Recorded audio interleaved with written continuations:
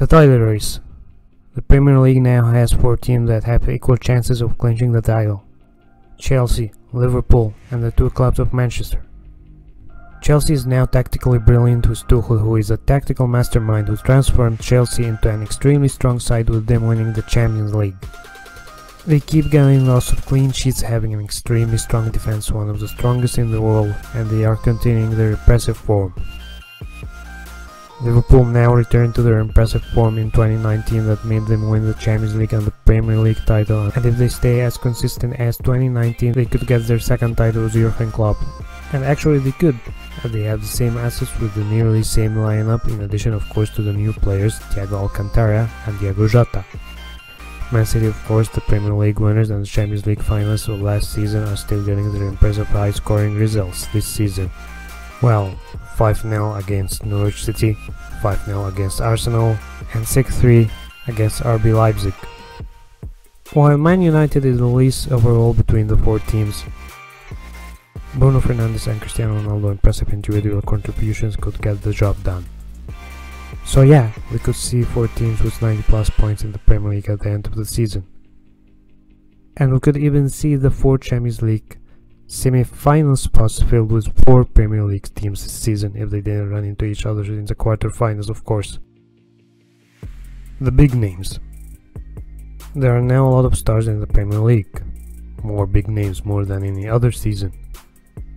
Like for example, Salah, Mane, and Van Dijk in Liverpool, Kanté, Jorginho, Thiago Silva, and Lukaku in Chelsea, Harry Kane and Son in Tottenham, Paul Pogba, Sancho, Varane, Bruno Fernandes, and Cristiano Ronaldo in Man United, Mahrez, Kevin De Bruyne, Ruben Dias, and Grealish in Man City, and Jamie Vardy and Leicester. So yeah, that's usually the most thing that attracts fans. Fans return. Speaking about fans this season, fans finally returned. And that's one of the most things that gets players to perform even better. And make the games a lot more exciting. And that they return finally after a year and a half without them that could mean that they are really hungry for cheering, for standing by their players, and that could mean the games being even more exciting. Top scorer race. This season's top scorer race could be very exciting. A lot of players with a very high scoring records, and with the arrival of Ronaldo and Lukaku, that will be the icing on the cake. Now there is Ronaldo, Lukaku, Bruno Fernandes, Salah, Mane, Aubameyang, Michail Antonio, Calvert-Lewin, Vardy, Harry Kane, Son, maybe Ings as well. There could be a lot of 30 plus goals this season. And there could be a lot more records broken. And that could also mean a higher rate of scores scored in general, which would provide more entertaining games.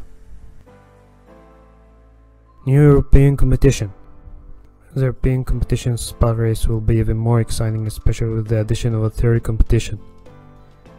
That will add an extra spot for the Premier League, and that will give a chance for a lot of teams other than the Big 8, which are Man City and United, Liverpool, Arsenal, Chelsea, Tottenham, Leicester and Everton. There are also other teams proving to be very challenging this season until now when this video was recorded, like Brighton and West Ham for example. So who do you think could win the league this season? And who would be the top scorer? My money is on Chelsea and Ronaldo.